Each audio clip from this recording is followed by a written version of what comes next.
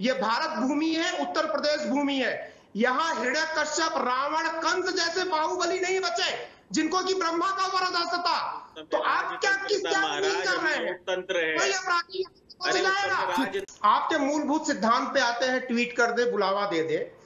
तो इस धरती का नियम आज से नहीं पौराणिक काल से ये बोला जा रहा है। यदा यदा ही धर्म से ग्लानिर्भवती।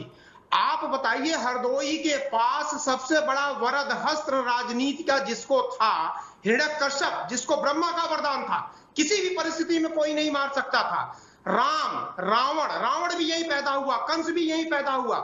भाई, हर बार आपको बोला जा रहा है, कृष्ण ने शिशुपाल को निन्यानवे बार निमंत्रण दिया कि तुम अधर्म के रास्ते को त्याग करके न्याय के रास्ते पे आओ। राम ने रावण को निमंत्रण दिया और अब की बार भी पुलिस ने मीडिया में ने सरकार ने प्रबुद्ध लोगों ने, आप जैसे लोगों ने, हम लोगों ने बोला, पिछले 45 दिनों से बोला जा रहा है, सरकार बनते ही बोला गया कि भाई आप सरेंडर कर दीजिए, धर्म और न्याय के रास्ते पे आइए।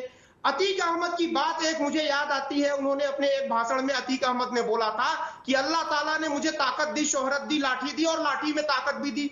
भाई, उसको पता चला कि आप गलत प्रयोग कर रहे हैं तो दूसरा रास्ता भी भगवान या अल्लाह ताला अपना लेता है। इसका जी, बिल्कुल, बिल्कुल, है इस बात से भगवान शंकर ने जो दिया था जी। भस्मासुर को उससे वो उसके ठीक- लिए अभिशाप बन गया ठीक है मिश्रा जी ठीक। है ठीक।